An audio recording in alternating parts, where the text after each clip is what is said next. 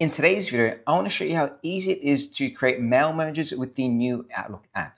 If you've created mail merges in the traditional desktop app, you know it can be a little bit cumbersome having to use Excel files and create different files and things like that. And the new Outlook, whether it's the free or the paid version, makes this so much easier. You can see here, I am on the Outlook.com app. This is the free version, just the general personal account, and there's a couple of steps to get started.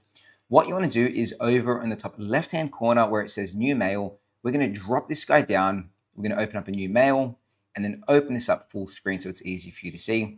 And then what you'll see in the top left hand corner where it says send, there's a little drop down where you can go send, where you can select on send, schedule send, which allows you to schedule a message for later, or there's a button simply for start mail merge.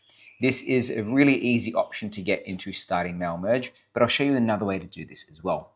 I'm going to close this, open up a brand new email again and open this up. And then under the options tab, you also have the button here to start mail merge. So the two ways to find it are the drop down and choosing from here, or in options, press the button start mail merge. When you open up mail merge, you do get the uh, notification saying every recipient will receive their own copy of this email without other recipients listed. So basically, you can send out a widespread email, but it looks like an individualized email to them, and they're not going to see the other people that receive that email as well. Over here, it says recipient, and this is where you put all the different email addresses that you want to contact. Awesome. So I've popped in three different accounts myself, just so I want to show you guys what it looks like when you received an email, and two other people. And I've got the body of my email here as well, as well as the subject. Next, you simply want to select on send mail merge you get a little warning saying send mail merge. Do you want to send three emails with mail merge? So these are three individual emails. If you're happy with that, simply select on send and then off it goes. Give it a couple of seconds and then you can jump over to your sent mail. Now that we're in our sent items, we can actually see everyone that we just emailed. So here we have in our sent options, this is a test mail merge. Then it shows all the different recipients that you sent to that email. So you can see here, I have three other recipients that I sent the email to.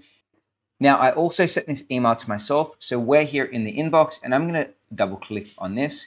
And this is what the recipient sees. They just see who sent it and who it was addressed to, which is just yourself. You don't see any of the other people that you shared the email to. So they receive just a direct email from you.